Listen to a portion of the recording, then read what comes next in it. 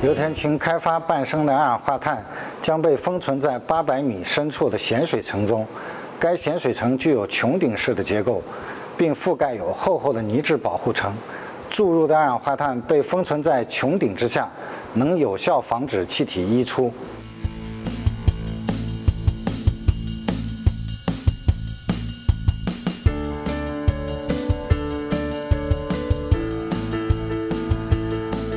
二氧化碳封存工程实施后，